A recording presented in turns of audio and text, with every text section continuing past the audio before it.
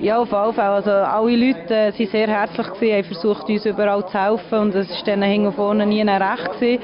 Es ist wirklich erstaunlich, was das ausgelöst hat in der Presse und äh, es ist eigentlich ein sehr schönes Erlebnis von dem her, aber äh, kann halt passieren. Hat die Vorbereitung beeinträchtigt durch die Geschichte? Nein, eigentlich nicht. Wir haben äh, noch weiterhin einen Tag können trainieren und die Renschori, unsere Ersatzspielerin, hat die gleiche Größe in den Schuhen, also habe ich noch ihre Schuhe können brauchen zum Trainieren und es hat eigentlich alles geklappt und jetzt auch für den Ersatzfahrt zu organisieren, wir genug Zeit gehabt, also wir sind total gut im Fahrplan. Die Schuhe kommen ja, ist aber auch noch ein eine Übung gewesen, bis dann der Weg dahin findet.